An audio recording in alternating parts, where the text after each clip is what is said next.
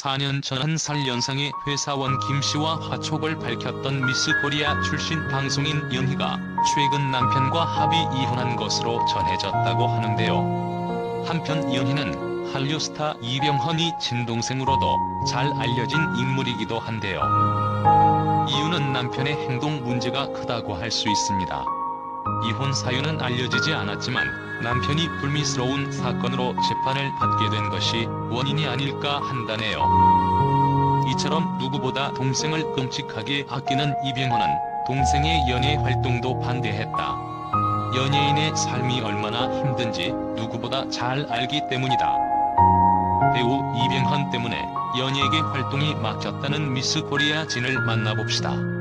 1996년 미스 코리아 진에 선발되고도 연예계 활동을 이어가지 못한 안타까운 사연의 주인공은 바로 배우 이병헌의 동생으로 유명한 연예입니다. 현재는 개명하여 이재한으로 활동 중이지요.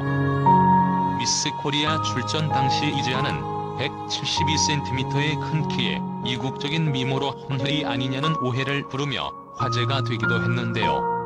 이모가 미홀로 낳은 혼혈인데 아버지 밑으로 입양했다고 들었어요. 이병헌 이모 딸 이병헌 아버지 호적에 올린 거래요 나이 들수록 남상인 것 같아요.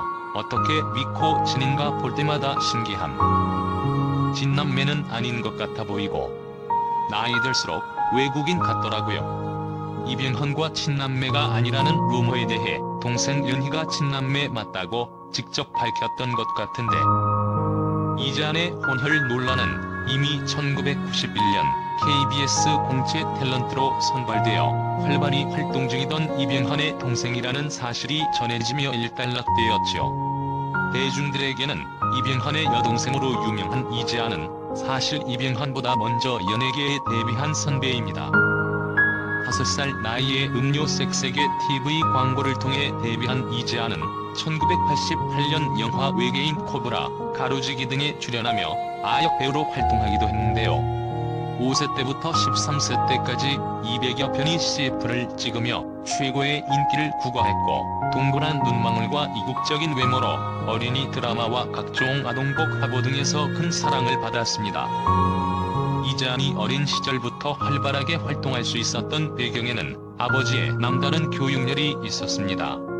이병헌과 이재한 남매에게 우월한 미모의 유전자를 물려준 아버지는 남매를 연예계로 데뷔시키기 위해 조기 교육을 시행했는데요. 어린 이병헌과 함께 주말의 명화를 시청하며 할리우드 진출에 대한 꿈을 키웠고 딸 이재한에게는 미스 코리아 진이 되는 것이 소원이라고 구체적 목표를 정했지요. 실제로 이재한의 아버지는 자신을 닮아 딸이 오다리가 될까봐 매일 퇴근 후 다리 마사지를 해주고 코도 오뚝하게 잡아준다며 매일 만져주는 정성을 다했는데요. 그 덕분인지 이재한은 실제로 1996년 미스 코리아 진에 선발되었습니다. 그리고 당선 직후 이재한은 연예계에 수많은 러브콜을 받았고 평소 가수의 꿈을 가지고 있던 이자는 녹음을 위해 스튜디오를 찾았는데요. 엄마와 함께 찾아간 스튜디오에서 녹음을 진행하던 도중 오빠인 이병헌에게서 전화가 왔고 은희에게 왜 그런 일을 시키려고 하느냐라며 말리는 바람에 이잔의 가수 데뷔는 무산되었죠. 게다가 이병헌, 이잔 남매에게 연예계의 꿈을 심어준 아버지가 IMF 당시 사업 실패에 충격으로 쓰러져 세상을 떠나면서 가족에게는 새로운 도전을 할 여력이 없었는데요. 이병헌은 아버지가 남긴 10억 원의 빚을 갚기 위해 배우 이미지의 타격을 감안하고 학습지 광고를 찍거나 전국 나이트 클럽을 돌며 4인회를 개최하는 등 가장으로서 노력을 다했고 이자는 그런 오빠의 의견에 따라 연예계 활동을 접어야 했습니다.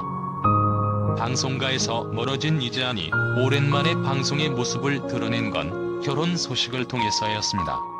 2012년 3월 이재한은 프로골퍼 출신으로 온라인 게임 회사에 재직 중인 비연예인 김모 씨와 결혼 소식을 전했는데요. 이재한은 친구 소개팅에 따라 나갔다가 소개팅 당사자인 남성이 데리고 나온 친구에게 반해 자신이 먼저 대시했다며 남편과의 러브스토리를 털어놓기도 했습니다. 이후 이재한은 남편과 함께 잡지 인터뷰에 나서거나 페이스북을 통해 신혼 일상을 공개하면서 애정을 숨기지 않았습니다. 형님 매제 사이인 남편과 이병헌이 장난기 심하고 짓궂은 성격이 비슷해 밤새 술을 마시며 농담을 주고받는 돈독한 사이라며 자랑할 정도였지요.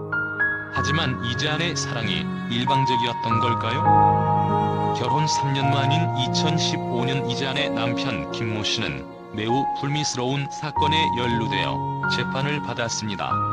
20대 여성과 함께한 술자리에서 술에 마약을 타서 마시게 한 뒤 성폭행한 혐의인데요. 해당 혐의로 기소된 김모 씨는 결국 5년 6개월의 중형을 선고받았고 2016년 이제아는 그와 합의 이혼했지요. 어린 시절 미스 코리아 감이라며 아빠의 사랑을 독차지하던 귀한 딸이자 혹시나 상처받을까 연예계 활동까지 막은 이병헌의 애틋한 여동생 이지안의 인생은 이렇듯 쉽지 만은 않았는데요. 사실상 연예계 활동을 접고 지내던 이지안은 이탈리안 레스토랑과 캔들 사업 등 일에만 매진하다가 지난해 여름부터는 다른 사업을 다 정리하고 강원도 정동진에 펜션을 오픈했습니다. 그리고 미스 코리아 친목단체이자 모임인 녹원회 활동과 유기견 관련 홍보 활동에만 주력하던 이지안이 최근 반가운 복귀 소식을 전했는데요. 이지안 근황 이지안 집 아파트 75평 미스 코리아 출신 방송인 이지안이 75평 아파트에서 혼자 거주 중이라고 밝혔다. 24일 방송된 SBS 플러스 예능 프로그램 전당포에는 이지안이 게스트로 출연해 입담을 뽐냈다. 이날 MC 정인아는 이재한은 용인 수지 75평 아파트에서 혼자 거주 중이다. 집, 자동차 대출금과 아파트 관리비 등 한 달 생활비만 수백만 원인데 코로나19로 수입이 줄면서 통장이 텅텅 비었다고 한다라고 소개했다. 이에 이재한은 75평 아파트는 작아다. 대출받아 구입했지만 내 이름으로 집을 하나 장만한 건 뿌듯하다. 방송 수입과 아르바이트로 생계 유지 중이다라고 밝혔다.